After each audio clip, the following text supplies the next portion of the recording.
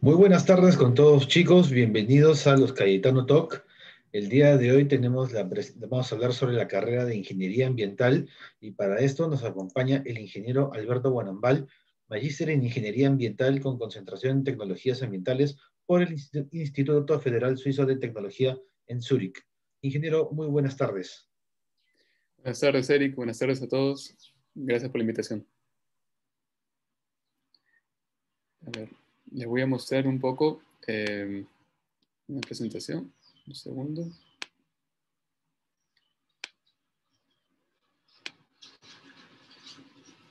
Ok. Bueno, eh, como mencionó Eric, mi nombre es eh, Alberto Guanambal, yo soy ingeniero ambiental de formación. Eh, hice mi pregrado en ingeniería ambiental, también mi maestría en ingeniería ambiental, y dentro de la ingeniería ambiental yo me he especializado en lo que tenía que ver con el tratamiento y la calidad del agua. He trabajado con aguas, trabajo con aguas subterráneas, con remediación de aguas subterráneas y también trabajo con calidad de agua, especialmente en la parte de desinfección. Lo que quiero ahora es mostrarles brevemente un poco la visión que tenemos en Cayetano sobre la carrera de Ingeniería Ambiental. Primero, eh, el ingeniero o la ingeniera ambiental lo, que tiene que poder hacer es ver eh, una situación, un lugar eh, o una muestra y inmediatamente saber qué tipo de problemas ambientales pueden haber. Por ejemplo, en este caso, nosotros vemos esta foto y es una foto, yo diría que bastante bonita, ¿no? es del lago Titicaca, del Valle de Puno.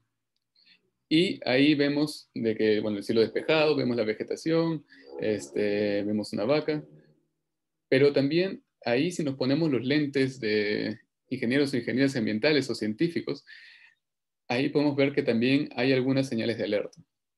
Por ejemplo, en este caso vemos que eh, hay ganado. El ganado muchas veces puede también llevar a ciertos tipos de contaminación uno de ellos, por ejemplo, son los contaminantes emergentes. Son contaminantes nuevos que antes no se conocían y que ahora se ha descubierto que pueden tener eh, bastante daño al medio ambiente y a la salud pública, como es el caso tal vez de los antibióticos, que a veces se utilizan para la ganadería.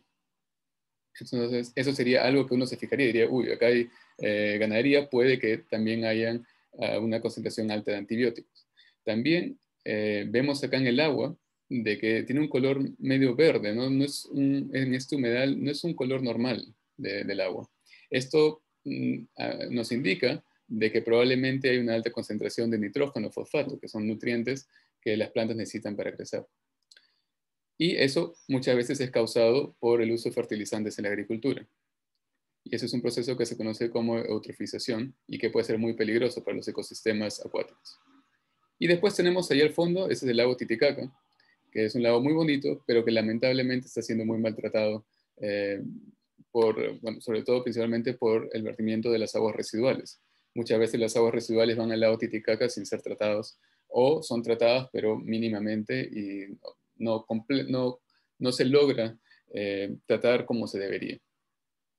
Y también al fondo los que este, reconozcan mejor la vegetación local, eh, se van a dar cuenta que esta vegetación no es, estos son pinos que no son eh, no son naturales de esa zona, son unas especies invasivas. Entonces, ahí lo importante es que nosotros tenemos que, los, ingenieros e ingenieras ambientales, debemos ser capaces de poder identificar problemas ambientales que tal vez no sean tan evidentes. Cuando uno ve un agua turbia o algo así, un, un color extraño, uno pensaría, claro, acá hay algo mal, probablemente no debería tomar esta agua. Pero hay otros casos, como el de acá, en esta foto, que no, la contaminación no es tan clara. Y para eso, para entender esos detalles que se escapan muchas veces de nuestra percepción inmediata, es importante utilizar la ciencia. La ciencia nos da la base para poder entender todo lo que podemos hacer como ingenieros.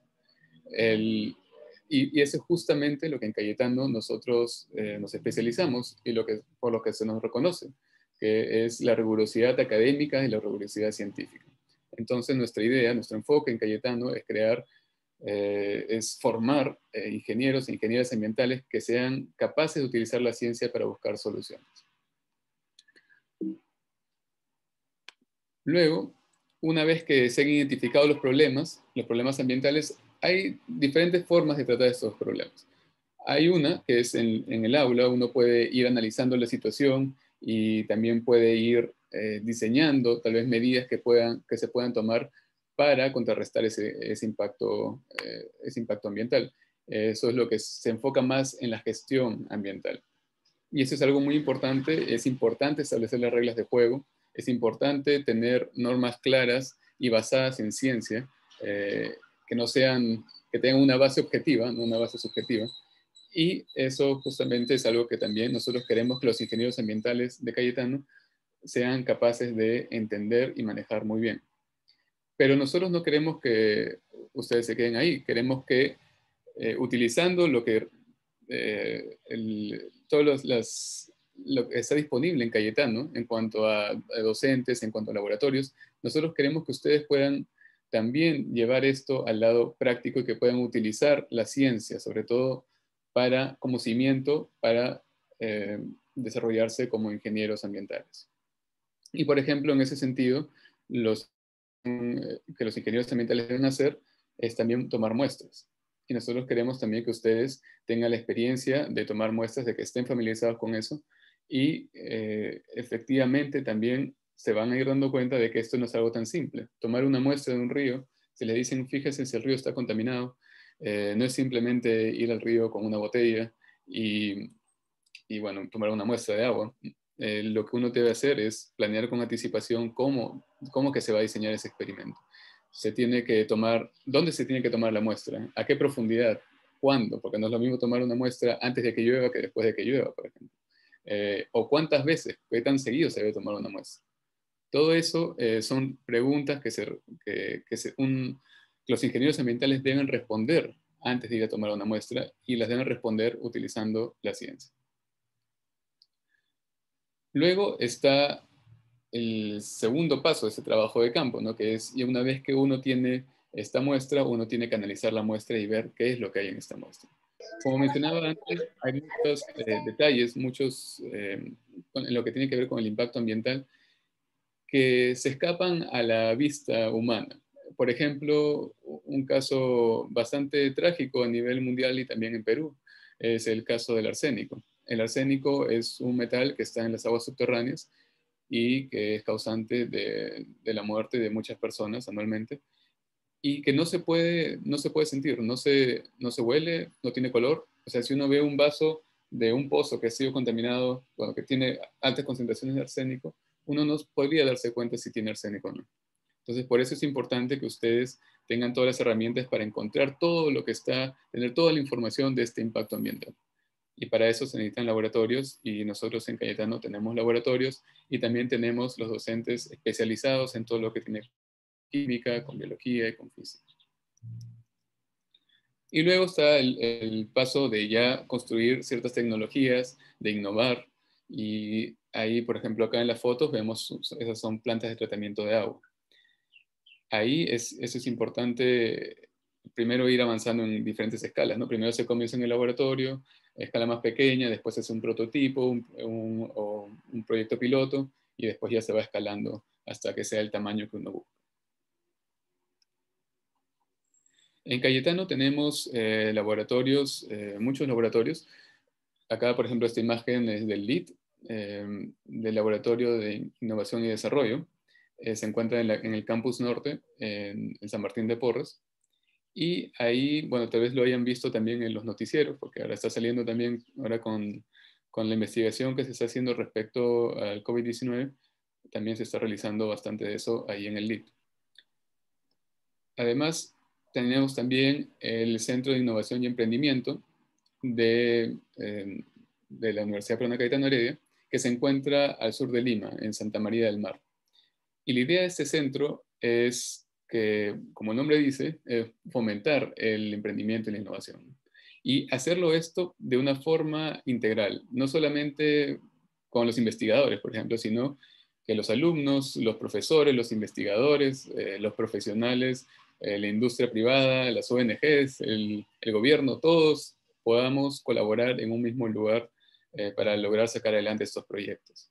Es importante que trabajemos en equipo eh, para poder sacar esto adelante. Y justamente esa, es esa cooperación, esta simbiosis lo que se busca en este lugar. Y en Santa María ya se viene, es un centro que está en desarrollo. pero ya hay algunos laboratorios, también ya se están desarrollando proyectos que están relacionados a, temas ambientales, como por ejemplo un invernadero, eh, también se están tratando temas de compostaje. Y eh, justamente también la idea es que este centro sea un lugar em, modelo en lo que tiene que ver con el manejo de recursos, por ejemplo, la energía, el manejo de recursos hídricos, eh, los residuos. Y para eso también vamos, vamos a necesitar las ideas, las ideas y las iniciativas y los proyectos de nuestros alumnos. Por el momento, lamentablemente, por la situación, no es posible ir de forma presencial, eh, pero sí tenemos planeado para cuando las cosas vuelvan a la normalidad, hacer actividades con nuestros alumnos eh, ahí en Santa María. Y también Cayetano ofrece eh, convenios internacionales, tiene convenios internacionales con, con, diferentes universidades de diferentes continentes, en Estados Unidos, en Johns Hopkins, por ejemplo, o la Universidad de Colorado, Florida o Georgia, entre otras más. También eh, con universidades en Europa, en Alemania, en España, en Inglaterra, Francia. Y también eh, con universidades en Latinoamérica, en Argentina, Brasil, Chile, Colombia, México. Y la idea es ahí que ustedes también puedan compartir sus experiencias eh, académicas e de investigación y de innovación eh, con eh, sus colegas de otras partes del mundo. Esto es algo muy importante. La, la, ciencia se basa en cooperación. uno va creando conocimiento a partir del conocimiento que haya sido creado antes por otras personas. Y además, en el tema ambiental es muy importante también que ustedes lo trabajen de una forma internacional porque, eh, como sabrán, los daños ambientales no, no conocen fronteras. ¿no? No, no importa que una contaminación se realice, un episodio de contaminación se realice en un país, igual puede pasar por la frontera. El caso, por ejemplo, del cambio climático es algo que nos va a afectar a todos, independientemente si es que somos los países que más contaminamos o menos contaminamos. Es por eso que tenemos que trabajar todos juntos y estos convenios internacionales también eh, facilitan, van a facilitar esa cooperación entre los diferentes países. Y bueno, con eso también invitarlos a postular a la carrera de Ingeniería Ambiental eh, por Factor Excelencia el 8 de noviembre y también eh, por examen, de, examen general de admisión el 9 de febrero del próximo año. Así es, ingeniero. Bueno, le comento el examen, el factor excelencia del 8 de noviembre. Va a ser una modalidad virtual que, como mencionaba, una entrevista personal a través de Zoom. Las inscripciones están abiertas y pueden, cualquier consulta, pueden comunicarse con nosotros a través de Marca Cayetano por el Facebook, Instagram o a través del WhatsApp que les vamos a compartir en breve. Eh, bueno, ingeniero, antes de, ahora creo que queremos proceder a las preguntas del público. Eh, chicos, si tienen alguna pregunta, por favor levanten la mano y el ingeniero la va a responder. ¿Quién quiere hacer la primera pregunta? O si tienen, si tienen un poco de timidez, también pueden escribirla por el chat y la formularemos para el ingeniero.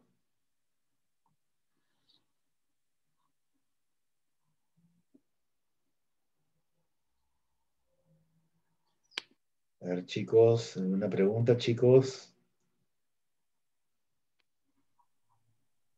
Eh, bueno, eh, bueno, mi pregunta es eh, para el ingeniero.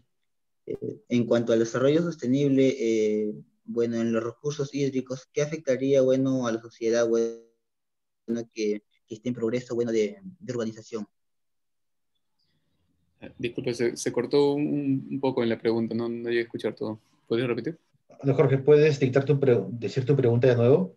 Mm, ya, ok. Eh, mire, en cuanto al proceso de urbanización, el desarrollo sea sostenible de acuerdo o sea, a los productos, a la producción, bueno, en una zona urbana, em, que hay o sea, un mínimo índice de contaminación, ¿qué, ¿en qué, o sea, qué proyecto o plantearía yo para o sea, erradicar ese, ese inicio de contaminación?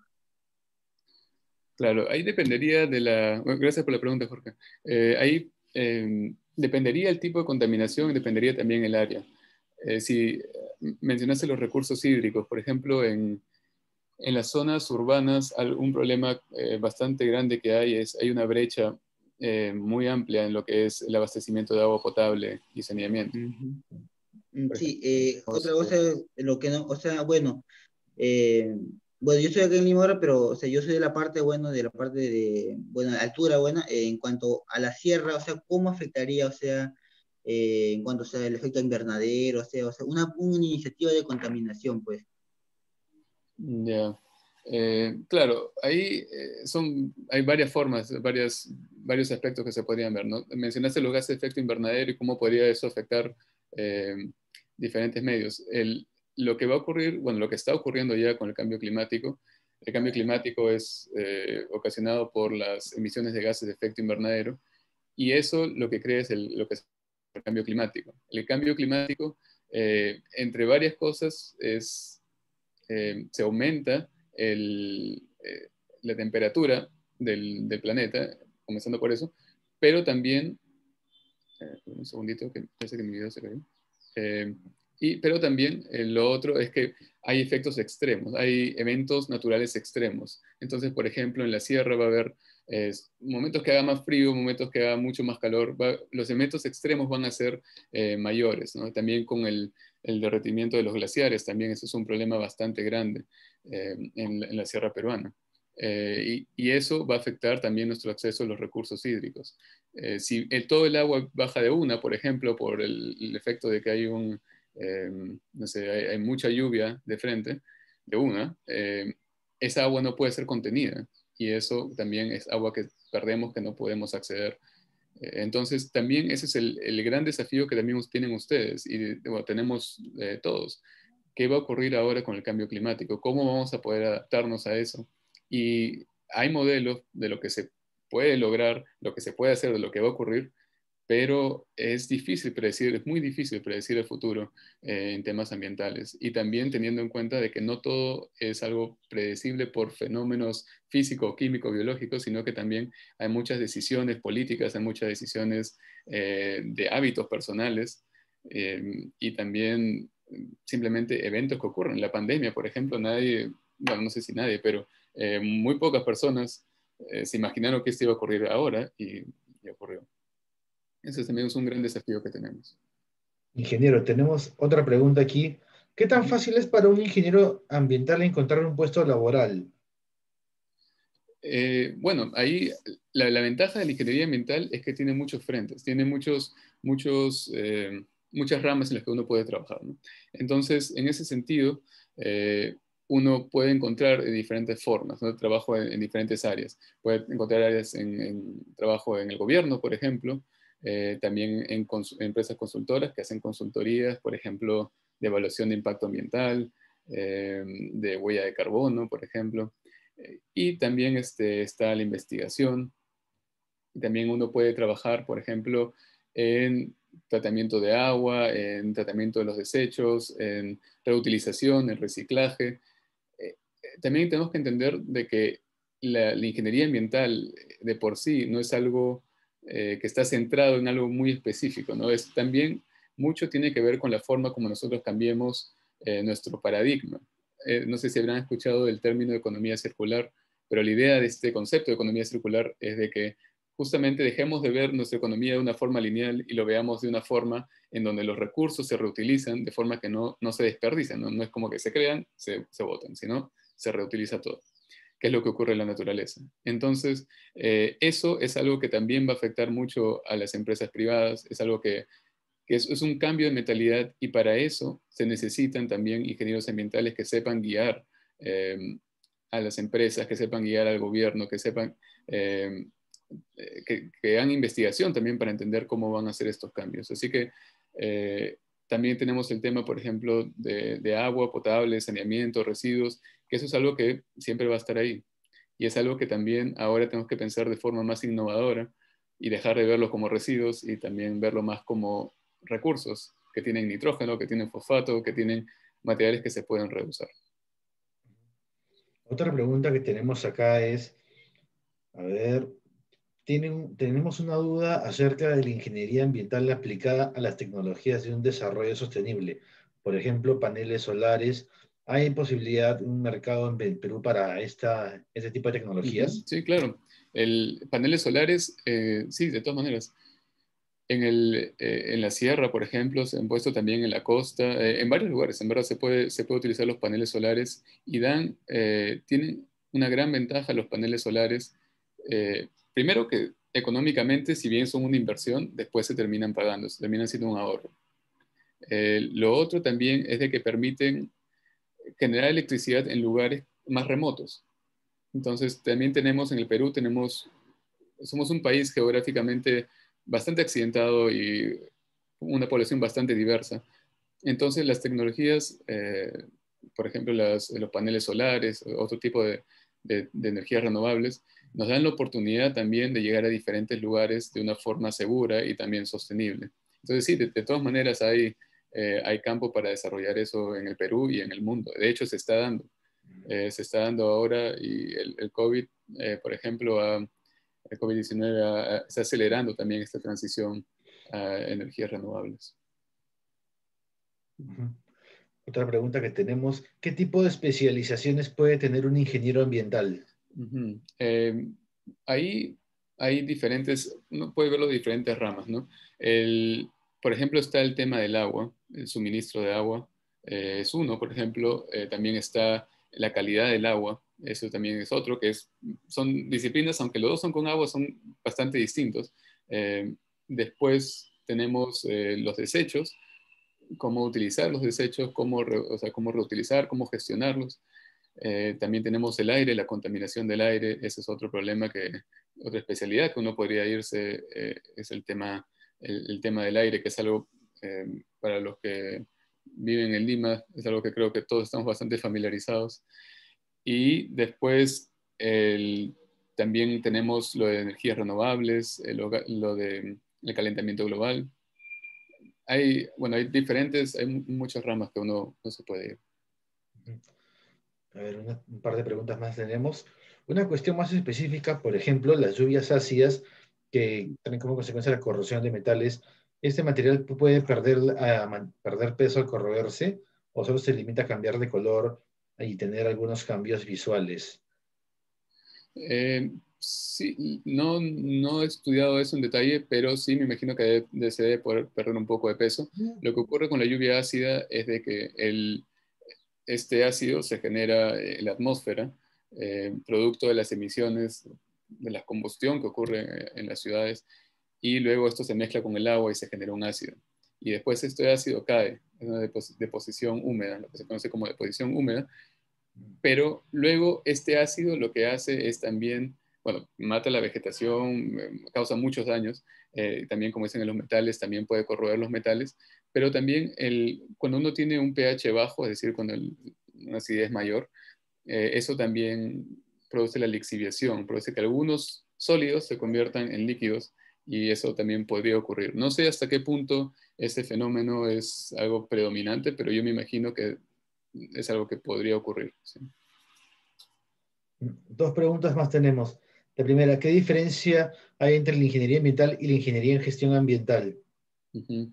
Eso, eh, justamente volviendo al tema de la presentación, eh, es algo que nosotros hemos notado que la mayoría de ofertas que, vemos acá, en, también hay en otras universidades, es que se centran en la parte de gestión ambiental, que como mencioné es algo importante y es algo necesario y, y también la gestión ambiental nos ayuda a acelerar ciertos cambios, ciertos procesos. Eh, pero nosotros, nuestro enfoque es que ustedes entiendan bien la gestión ambiental, pero nosotros queremos que ustedes tengan también eh, esas herramientas para eh, crear procesos, para entender los procesos, crear procesos, tecnologías, eh, hacer trabajo más de ingeniero, de campo y menos de eh, estar en un escritorio. Y la última pregunta que tenemos, ¿la ingeniería ambiental puede ayudar en el desarrollo de la agricultura y ganadería? Ingeniería ambiental, sí. sí la agricultura, claro, ahí hay, muchas, muchas áreas en, cuanto a la agricultura y la ganadería que se podrían, se podrían mejorar el, utilizando los principios de la ingeniería ambiental. por ejemplo, la ganadería y la agricultura también emiten eh, gases de efecto invernadero que pueden, eh, que, bueno, causan el, cambio climático, pero también se pueden minimizar de varias formas. también, por ejemplo, hay una costumbre, no sé si estarán al tanto, pero el 98% de los incendios forestales que ocurren en el Perú son causados por el ser humano. Y hay muchos incendios forestales en el Perú. Y muchas veces se em, empiezan por la agricultura, ¿no? O sea, no a propósito, obviamente, pero, o por lo menos la gran mayoría de veces, pero hay a veces para quemar residuos agrícolas estos fuegos luego salen, se descontrolan y pasan a áreas, eh, áreas cercanas y después se generan estos incendios forestales que causan muchos daños. Esto se puede evitar, esto, esta quema, por ejemplo, esta quema agrícola, es, es una costumbre que si bien es cierto, puede ayudar a quemar eh, ciertas hierbas y, este, y preparar de cierta forma un poco el cultivo, las tierras para el siguiente cultivo, en verdad que también causa un daño muy grande al, suelo y el suelo va perdiendo fertilidad con el tiempo. Eh, entonces también ahí viene un, los ingenieros ambientales podemos encontrar técnicas para, eh, por ejemplo, evitar esa quema de, de, áreas agrícolas o también para, eh, por ejemplo, diseñar fertilizantes de que, que no sean tan contaminantes o pesticidas que sean naturales, eh, que no, no, causen daño a las abejas. Tal vez habrán escuchado hablar de los neonicotinoides, por ejemplo, que se los, se los ha asociado con, el, con, la, la, pérdida masiva de, de muchas abejas. Eh, entonces también ahí entra la parte de innovación de los ingenieros ambientales, que es el de crear también nuevas tecnologías que sean eh, que permitan a la agricultura desarrollarse sosteniblemente y también de forma amigable con el resto A ver, ingeniero, eh, bueno, con eso creo que concluimos. Hay una pregunta que quieren hacer, pero no tiene para habilitar el audio. Salus, Salustián, eh, por favor, si puedes plantear tu pregunta por texto, sería perfecto, ideal, por favor.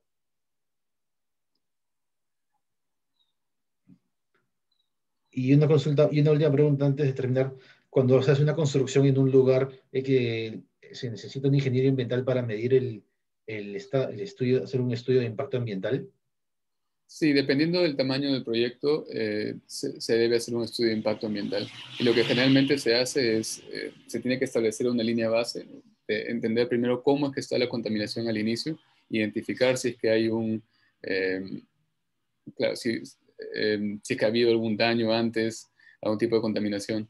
Y para eso sí se necesita ingenieros ambientales. Eso también es un, es un área bien interesante porque muchas veces los estudios de impacto ambiental, bueno, casi siempre se trabajan en equipo y son equipos interdisciplinarios y necesitan, eh, dependiendo del tamaño del proyecto y del tipo de proyecto, muchas veces necesitan también biólogos, necesitan también este, químicos, necesitan, eh, bueno, ingenieros ambientales, naturalmente.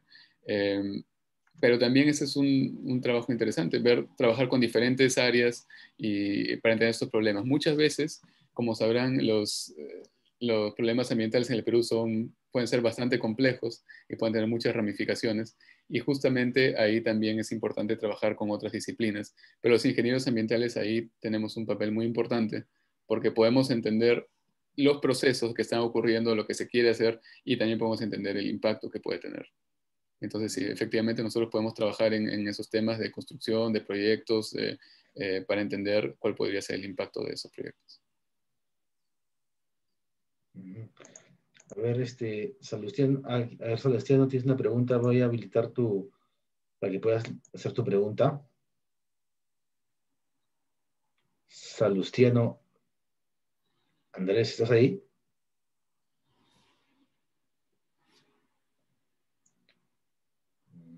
No, parece que no contesta. Bueno, ya nos queda, bueno, ingeniero, en todo caso, cualquier consulta, antes, de culminar esta presentación, queremos invitarles a todos a que cualquier consulta que puedan tener sobre la carrera de ingeniería ambiental o las modalidades de admisión, pueden comunicarse al teléfono que estamos compartiendo en, por el chat de por el chat de la conversación, que es el 915-143-345. Y antes de despedirnos, a ver qué pasamos con nuestra la encargada de la... ¿Dónde está?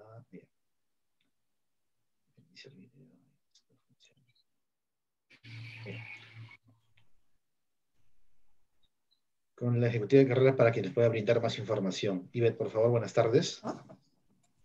Hola, buenas tardes chicos, ¿cómo están? Eh, soy Iber Romero, soy la ejecutiva de carrera de la Facultad de Ciencias y Veterinaria.